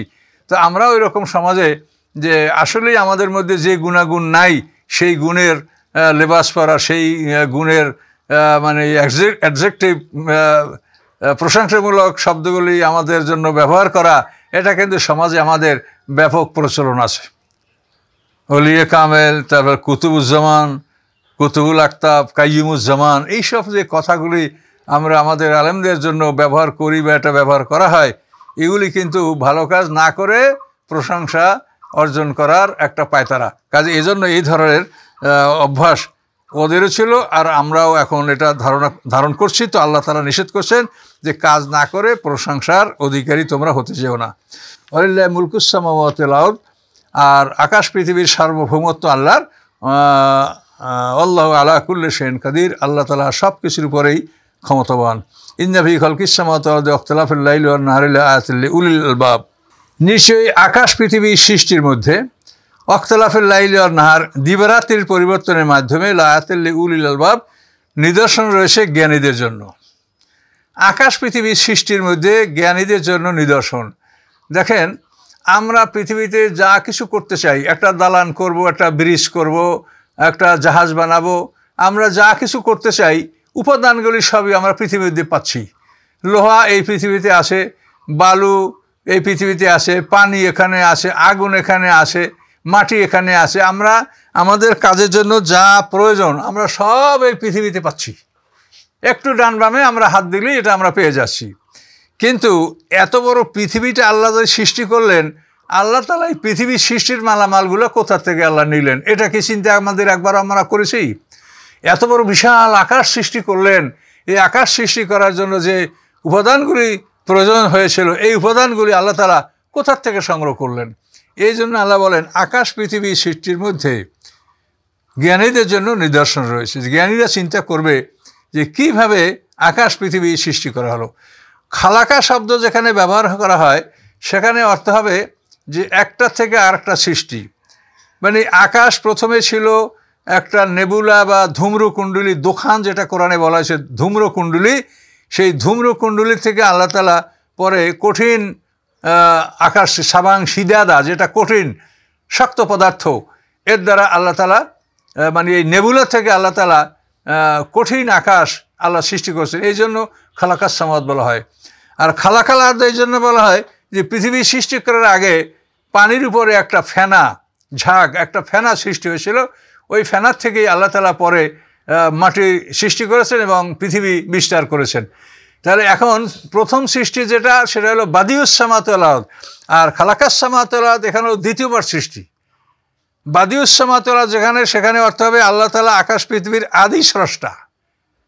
তিনি প্রথমবার সৃষ্টি করেছেন। আর খালাকাসামাতলাদ সেখানেও এটা আল্লাহ সৃষ্টি করেছেন, কিন্তু প্রথম সৃষ্টি করার পরে দ্বিতীয় সৃষ্টি হলো খালাকা। পৃথিবীতে আল্লাহ তালা আল্লাহ তালা সর্বোত্তম সৃষ্টি করেছেন পানি। পানির উপরে ছিল আল্লাহর আরস এই পানির উপরে আল্লাহ তালা ফেনা সৃষ্টি করেছেন। এই ফেনা এই ফেনার উপরে আল্লাহ তালা পৃথিবী বিস্তার করেছেন। এবং এই পানির থেকে গ্যাসীয় পদার্থ সৃষ্টি করে নেবুলো বা গ্যাসীয় পদার্থ আল্লাহ তালা মহাকাশে বিস্তার, বিস্তৃত করেছেন। ওই সেই নেবুলা বা গ্যাসীয় পদার্থকে পরে আল্লাহ তালা শক্ত আকাশ সৃষ্টি করেছেন। তো এক কথা, খালাকা মানে একটা থেকে আর একটা সৃষ্টি করা, আর বাদী শব্দের অর্থ অরিজিনেটর মানে নিজের পক্ষ থেকে সমস্ত উপাদান সরবরাহ করে নিজের সৃষ্টি করা। অন্য অন্য কোনো পদার্থ দ্বারা নয়, নিজের জিনিস দ্বারাই নিজের সৃষ্টি করা এবং প্রথম সৃষ্টি করা। এটা হলো বাদী। দিবারাত্রির পরিবর্তন, এটা কীভাবে হয়? এখন এই দিনগুলি আস্তে আস্তে বড় হচ্ছে। কেমন করে হয়? সূর্যটা প্রতিদিন নূতন জায়গার থেকে উদয় হয়, নূতন জায়গায় অস্ত যায়। এই সূর্যটাকে প্রতিদিন তার চলার লাইন পাল্টায় দিতে হয়। এই লাইন পাল্টাই দেওয়ার কারণে এখন সূর্যটা মানে আস্তে আস্তে তার মানে দিনটা বড় হচ্ছে। আবার যখন এই লাইন পাল্টায় আর সূর্যটাকে উত্তর দিকে নিয়ে আসা হবে ধীরে ধীরে, তখন আবার আস্তে আস্তে দিন ছোট হয়ে রাত বড় হবে। তাহলে এখন আল্লাহ বলছেন, যেখানে জ্ঞানীদের জন্য নিদর্শন তার কারণ হলো ওই চন্দ্র সূর্যকে প্রতিদিন তার লাইন চেঞ্জ করে, প্রতিদিন এই চাঁদ সূর্য নূতন জায়গা থেকে ওঠে এবং তিনশো পঁয়ষট্টি দিন, তিনশো ষাট দিন বা তিনশো পঁয়ষট্টি দিনই সূর্য নূতন নূতন জায়গা থেকে উদয় হয়, নূতন নূতন জায়গায় সূর্য অস্ত যায়। এখন আপনি একটা সাধারণ উদাহরণ থেকে বুঝবেন, একটা রেল ইঞ্জিন, গাড়ি, এটা হঠাৎ করে আপনার জংশনে গাড়িটা থামলো। এখন ইঞ্জিনটা সামনে আসে এটাকে পিছিয়ে নিতে হবে। তো দেখলেন যে লাইনম্যানরা এই ঘাট ঘাট করে লাইনটা একটু উল্টে পাল্টায় দিয়ে দিল। এবার ইঞ্জিনটা স্টার্ট করে দিল, ইঞ্জিনটা সামনে ছিল, এটা ঘুরে পিছিয়ে যায় ইঞ্জিনটা আবার লাগল। তাহলে এখন এই লাইন চেঞ্জ করা ছাড়া কিন্তু একটা ইঞ্জিন এক লাইন থেকে অন্য লাইনে যেতে পারে না। তাহলে সূর্যটা প্রতিদিন নূতন জায়গা থেকে উদয় হয়, নূতন জায়গায় অস্ত দেয়। এই সূর্যটার লাইন কে চেঞ্জ করে? বলুন সুবহান আল্লাহ এটা আল্লাহ তালা করেন। এবং সূর্য এমন এক বস্তু যার কাছে কোনো প্রাণী যেতে পারে, এটা আপনি কল্পনাই করতে পারেন না যে সূর্য যে আগুন, এই জ্বলন্ত অগ্নিপিণ্ড, এখানে আল্লাহ ছাড়া, আল্লাহর আদেশ ছাড়া এখানে কোনো প্রাণী যে রেল লাইনের মতো লাইন চেঞ্জ করবে, এরকম ক্ষমতা কারও পৃথিবীতে নাই। এই জন্য আল্লাহ বলেন যে এগুলো চিন্তা করলে জ্ঞানীদের জন্য এখানে জ্ঞানীরা, তারা জ্ঞান পাবে যে এটা কি করে হয়। তো এভাবে বাতাসের পরিবর্তন, এই বাতাস এখন দক্ষিণ থেকে প্রবাহিত হচ্ছে, এই বাতাসকে কে উত্তরে নিতে পারে? আবার উত্তর থেকে যখন বাতাস প্রবাহিত হবে, সেই বাতাসকে কে দক্ষিণে নিতে পারে? ওই চার পাঁচ মাস ধরে উত্তর দিক থেকে ঠান্ডা বায়ু আসবে, আসবেই আসবে। এটাকে কেউ ফিরে অন্যদিকে নেওয়ার ক্ষমতা নাই। আবার এখন উত্তাপ বায়ু সামুদ্রিক অঞ্চল থেকে এই গরম বায়ু আমাদের দিকে চলে আসে, এই বায়ুটাকে ফিরিয়ে কেউ অন্যমুখী করবে, এরকম ক্ষমতা কারও নাই। তা আল্লাহ বলেন যে, এই সব কুদরতগুলি আমার আমার ক্ষমতা কাজে এই জন্য তোমরা এগুলি লক্ষ্য করো এবং আমার প্রতি ইমান আনো। আল্লা দিন ইয়াজকুল্লাহকে আমামা কৌদা, যারা আল্লাহকে স্মরণ করে দাঁড়ানো অবস্থায়, বসা অবস্থায়। অর্থাৎ আমরা যে নামাজ পড়ি, সেখানে দাঁড়িয়েও আমরা আল্লাহর, আল্লাহকে স্মরণ করি, আবার বসেও আল্লাহকে স্মরণ করি। ও আল্লাহ জনুবিহীম আবার কেউ পাজরে ভর করে আল্লাহকে স্মরণ করে, অর্থাৎ শুয়ে শুয়েও কেউ আল্লাহকে স্মরণ করে। যে দাঁড়াতে পারে সে দাঁড়িয়ে নামাজ পড়বে, যে দাঁড়াতে পারে না বসে নামাজ পড়বে, বসে যে নামাজ পড়তে পারে না সে পাজরে ভর করে শুয়ে নামাজ পড়তে পারবে। আল্লাহ তার এখানে এমন আমাদের উপরে বাধ্যবাধকতা দেন নাই যে দাঁড়াইয়া সারা নামাজ হবে না, তা আল্লাহ বলেন নাই। তুমি দাঁড়াইয়া যদি পড়ো পড়ো, না পড়ো, বসে পড়ো, না হয়তো শুয়ে পড়ো, তাও তুমি নামাজ আদায় করো। নামাজের কোনো কাজা নাই কাফারা নাই। যতক্ষণ হুশ আছে, ততক্ষণ নামাজ পড়তেই হবে। তাতে আপনি দাঁড়াইয়া, শুইয়া বৈশা এসারায় যেভাবে পারেন, নামাজের কোনো কাজা নাই কাফারা নাই। রোজার কাজ আছে, রোজা রাখতে পারেন না, তা রোজার ফেদিয়ে দিয়া আপনি এর ক্ষতিপূরণ করে নিতে পারবেন। কিন্তু নামাজের কাজার অনুমতি নাই এবং ক্ষতিপূরণও নাই। মানুষ মরে গেলে যদি নামাজ না পড়ে মরে যে থাকে, তো এই নামাজের ক্ষতিপূরণ অনেক সময় আলেমদের কাছে জিজ্ঞাসা করা হয়, কিন্তু নামাজের কোনো ক্ষতিপূরণের বিধান শরীয়তে নাই। রোজার ক্ষতিপূরণের বিধান শরীয়তে আছে। নামাজের হুকুম হলো, হুশ থাকলে নামাজ পড়বে, বেহুশ হয়ে গেলে মাপ যদি বেহুশ হয়ে যায়, তো তার উপরে তখন নামাজ ফরজ হবে না। বেহুশ অবস্থায় যদি নামাজ পড়ে, ও নামাজের জন্য তাকে আল্লাহ হিসাব নেবেন না। আল্লাহ বলেন, যারা আল্লাহকে স্মরণ করে দাঁড়ানো অবস্থায়, বসা অবস্থায়, পাজরে ভর করা অবস্থায় ওই তাফাক্কারণ ভি কালকিসময় তালাওয়াত এবং চিন্তা ভাবনা করে আকাশ পৃথিবীর সৃষ্টির ব্যাপারে। আকাশ পৃথিবীর সৃষ্টির ব্যাপারে একটা চিন্তার বিষয়। এই পৃথিবীটা কোথায় আসে, কীভাবে আসে? আমরা যে পৃথিবীতে আসি, এই পৃথিবীটা ঘন্টায় তেতাল্লিশ হাজার দুইশো মাইল বেগে সূর্যের সাথে যে সূর্য সহ যে একটা আমাদের যে ছোট একটা গ্যালাক্সি, এইটা সহ একসঙ্গে এই আকাশ, পৃথিবী আমাদের পৃথিবী এবং গ্রহ নক্ষত্র, সূর্য একসঙ্গে এই পরিবার, এটা ঘন্টায় তেতাল্লিশ হাজার দুইশো মাইল বেগে মহাশূন্যে উড়ে বেড়াচ্ছে। তাহলে এই পৃথিবীটা কি কোনো জায়গায় স্থাপন করা? এটা কি খুঁটি দিয়ে খাড়া করে রাখা হয়েছে? এটার উপরেও যা, নিচেও তা। আপনি এখান থেকে বোরিং করেন, ছিদ্র করে আট হাজার মাইল ভেদ করে যখন পৃথিবীর উপরে উঠবেন, তো এখন এই পৃথিবী দেখবেন, উপরে আকাশ দেখবেন এবং রাত্র দেখবেন। এখন পৃথিবীর অপর প্রান্তে রাত চলছে। তাহলে এই পৃথিবী শূন্যের উপরে, এতে আপনার বসতে কোনো সমস্যাই নেই। আপনি এখানে এখন আসেন, আর আমেরিকায় যে আসে, অপর পিঠে, সে এখন ওই আকাশ দেখছে যে আকাশে তারকা। আর আমরা এখন দেখছি এখানে সূর্য। কাজে এই পৃথিবী, এটা শূন্যের উপরে চলাচল করছে। তো এই জন্য আল্লাহ বলেন যে, আকাশ পৃথিবীর সৃষ্টির মধ্যে ওয়া তাফাক্কারুন অভি খলকিসামাতলাত আকাশ পৃথিবীর সৃষ্টি সম্পর্কে যারা গবেষণা করে, তারাই বলে রব্বানামা খলক তাহাদা বাতেলা। তারা বলে, হে আমাদের প্রতিপালক, আপনি এগুলি অনর্থক সৃষ্টি করেন না। এটার একটা অর্থ আছে এটা একটা প্রয়োজনীয়তা আছে। শুভানাকা সমস্ত পবিত্রতা আপনার ফাঁকিন আদাবার নার আপনি আমাদেরকে জাহান্নামের আগুন থেকে আপনি রক্ষা করেন। রব্বানা, হে আমাদের রব, হে আমাদের প্রতিপালক ইন্দাকমাং তুদখিলিন নারা ফাঁকা তাকদাই তাহু নিশ্চয়ই আপনি যাকে আগুনে প্রবেশ করাবেন, নিশ্চয়ই আপনি তাকে অপমানিত করলেন। আমালি জলিমিন এবং আনসার এবং জালেনদের জন্য কোনো সাহায্যকারী থাকবে না। আল্লাহ তালা এই দোয়া করতে আমাদেরকে শিক্ষা দিয়েছে যে এইভাবে তোমরা আল্লাহর কাছে দোয়া করো। রব্বানা, ইন্নানা সামেনা হে আমাদের রব, আমরা শুনেছি একজন ঘোষকের ঘোষণা সেই ঘোষক ইউনা দিলিল ইমান ইমানের জন্য সে আহ্বান জানাচ্ছিল যে তুমি ইমান আনো আর আমিনু বিরব্বিকুম। সেই ঘোষক আমাদেরকে ঘোষণা করে জানাচ্ছিল যে, তোমরা তোমাদের রবের প্রতি ইমান আনো। অতএব সেই ঘোষকের ঘোষণা অনুযায়ী আমান্না আমান্না, হে আমাদের রব, আমরা ইমান এনেছি। অতএব, রব্বানা ফাগ ফিরলানা দুনুবানা হে আমাদের আল্লাহ, হে আমাদের প্রতিপালক, আপনি আমাদের গুণাসমূহ মাফ করে দেন। ওকাফরান্না সাইয়াতেনা এবং আপনি আমাদের সমস্ত সগিরাগুলাগুলি সমস্ত পাপগুলি আপনি মাফ করে দেন। সাধারণত সাইয়াত না বলতে সগিরা গুনেই বুঝায়। আর সাইয়াত মানে সকল ধরনের অপরাধ তাও বুঝাতে পারে। এ শব্দ দ্বারা উভয় অর্থই প্রকাশ পেতে পারে। ওয়াকাফরান্না সাইয়াত না আপনি আমাদের সমস্ত গুণাসমূহ ক্ষমা করে দেন। অত অফনা মাল আবরর, এবং নাক্কারদের সাথে আপনি আমাদের মিলিয়ে দেন। ন্যাক্কারদের সাথে যেন আমাদের অফাত হয় অর্থাৎ আমাদের মৃত্যুর পরে আমরা যেন ন্যাক্কারদের সাথে মিলিত হতে পারি। তো সমস্ত ন্যাক্কারদের সাথে আমাদের যেন অনুষ্ঠান হয় এবং তাদের সাথেই আমরা যেন পরকারের জীবন যাপন করতে পারি। এভাবেই আমাদের আপনি মৃত্যু পর্যন্ত এভাবেই পৃথিবীতে রাখেন এবং মৃত্যুর পর ন্যাক্কারদের সাথে আমাদের সংমিশ্রিত করেন, তাদের দলভুক্ত আমাদেরকে করেন। আল্লাহ তালার কাছে এইভাবে আমরা দোয়া করব এবং এই দোয়াটা আল্লাহ তালা নিজেই আমাদেরকে শিখিয়ে দিয়েছেন।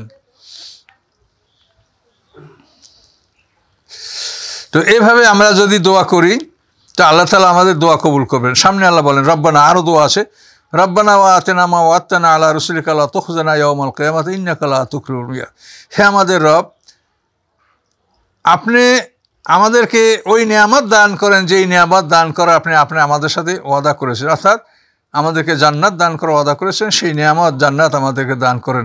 আপনার রাসুলের মাধ্যমে এই ওয়াদা আপনি আমাদের সাথে করেছেন। কাজী রাসুলদের মাধ্যমে যে ওয়াদা করেছেন, জান্নাতের ওয়াদা, সেই জান্নাত আপনি আমাদেরকে দান করুন। ওলা তখজনা অমল কিয়ামা, কিয়ামতের দিন আপনি আমাদেরকে অপমান করবেন না। ইন্নাকালা তুকরুল মিয়াদ, আল্লাহ আপনি কখনোই ওয়াদা করেন না। তো এইভাবে দোয়া করতে হবে। এই দোয়া আল্লাহ তালা আমাদেরকে শিক্ষা দিয়েছেন যে এইভাবে আমরা আল্লাহর কাছে দোয়া করব এবং এই দোয়া আল্লাহ তালা আমাদেরকে এই দোয়া আল্লাহ আমাদের পক্ষ থেকেও আল্লাহ কবুল করবেন। আল্লাহ বলেন ফার্স্টে জাব আলহম রব্বহুম, যারা এভাবে আল্লাহর কাছে প্রার্থনা করেছে, আল্লাহ শিখিয়ে দেওয়া দোয়া। এই দোয়া দ্বারা যারা আল্লাহর কাছে প্রার্থনা করেছে, ক্ষমা প্রার্থনা করেছে ক্ষমা চেয়েছে, আল্লাহ বলেন ফার্স্টে জাব আলম রব্বহুম, আল্লাহ তালা তাদের এ ডাকে সাড়া দিয়েছেন। অর্থাৎ তাদের মোনাজাত, তাদের দোয়া আল্লাহ কবুল করেছেন। এবং আল্লাহ করে ইন্নিলা আদি আমাল আমেল মেনকুমেন জাকার অংশা তোমাদের মধ্যে কেউ নারী হোক বা পুরুষ হোক, কোনো কর্মীর কোনো কর্মের বিনিময় আমি নষ্ট করব না। যেখানে কর্মকেই আল্লাহ যা আমাদের আদেশ করেছেন সেটি হলো আমাদের কর্ম এবং যা নিষেধ করেছেন তার থেকে বিরত থাকা, এটাও আমাদের কর্ম। তা আল্লাহ বলেন, তোমাদের মধ্যে কোনো নারী পুরুষের কর্ম আমি নষ্ট করব না। তাদের কর্মের বিনিময়ে আমি দিব এবং তোমরা একে অপর থেকে। পৃথিবীর সমস্ত মানুষই একে অপর থেকেই আমাদের এভাবে বংশ বিস্তার এর আমরা একে অপর থেকেই আমরা এক বংশ থেকে আর এক বংশ এক এক জায়গার পুরুষ এক জায়গার মেয়ে, এভাবে আমরা একে অপর থেকেই এই পৃথিবীতে আমরা আসি, আমরা পরস্পর মানুষ। একে অপর থেকে মানে আমরা পরস্পরের সবাই মানুষ। আমরা পরস্পরের সবাই আদম সন্তান। আমরা পরস্পরের সবাই একই পিতামাতার সন্তান। এই জন্য আমরা পরস্পর পরস্পর থেকে আগত। আমাদের মূল উৎস আদম হওয়া। আমাদের পিতামাতা এক। কাজেই আমরা সবাই এক পিতামাতার সন্তান।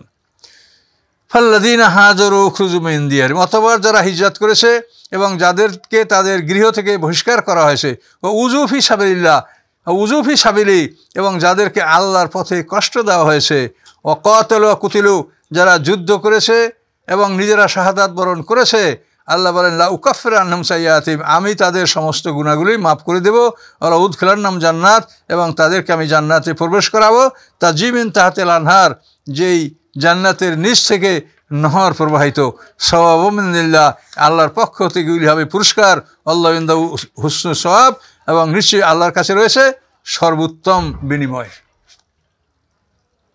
তো এখানে আল্লাহ আমাদেরকে যে সুরা আল ইমরানের দোয়াটা শিখিয়ে দিলেন দীর্ঘ দোয়া, এভাবে দোয়া করলে আল্লাহ তালা আমাদের সেই দোয়া কবুল করবেন। তো আল্লাহ আমাদেরকে যে দোয়া শিখিয়ে দিয়েছেন, আমরা এভাবে আল্লাহর কাছে দোয়া করব এবং এভাবে আল্লাহর কাছে প্রার্থনা করব। আমরা নিজেরা যে দোয়াগুলি জানি, আমরা সেটা বাংলা, বাংলায়ও বললে হবে। আল্লাহ তালা বাংলা, উর্দু, ইংরেজি, আল্লাহ ভাষা সব কিছুর মূল আল্লাহ। কাজেই আমরা যদি আরবি দোয়া করি তাহলে কোরআন থেকে আরবি দোয়াগুলোই করা ভালো। আর যে দোয়াগুলি কোরআন না, এমনিই দোয়া, যেমন আমরা মুখে যা বলছি, আল্লাহ আমাকে এই দেন, ওই দেন, এগুলো আরবিতে দোয়া। কিন্তু ওইগুলি আরবি মুখস্থ করায় আমাদের কোনো আসলে আমি প্রয়োজন মনে করি না। আপনি আরবি দোয়া যদি করেন, তো সেগুলি সব কোরআনে যে আরবি দোয়াগুলি আছে, এগুলোই পড়েন। আর যদি আরও কিছু আপনার বলার থাকে, সেটা আপনার ভাষাই আপনি বলেন। তো এগুলি বলার জন্য আপনি আবার ওই কষ্ট করে আরবিতে যে আল্লাহ আমাকে এই দেন বা আমার এই সমস্যা, এইটা আরবিতে বলতে গেলে আপনার কষ্ট হবে। কাজে যেগুলি কোরআনে আছে, এগুলির মধ্যে সব আছে, এর মধ্যে কোনো কিছু বাকি নাই। আল্লাহ যে দোয়া আমাদেরকে শিখিয়ে দিয়েছেন, এই মোনাজাতে সব কিছু আছে। একটা মানুষের জীবনের যত চাহিদা, যত প্রয়োজন সব কিছু এই মোনাজাতের মধ্যে আছে। কাজে আমরা এই আরবি মোনাজাতগুলি, এগুলি যদি আমরা শিখে নিতে পারি এবং এগুলির মাধ্যমে আল্লাহর কাছে দোয়া মোনাজাত করি, তো সেটা কিন্তু অন্য অন্য দোয়া মোনাজাতের চাইতে অনেক কল্যাণকর এবং অনেক লাভজনক এবং ভালো হবে। তো আমি এই পরামর্শ দিলাম আপনাদেরকে এবং আজকের কথা এখানেই। শেষ করছি আমার ইন্ডিয়াল বালাক। আসসালামু আলাইকুম রহমতুল্লাহ বারাকাতু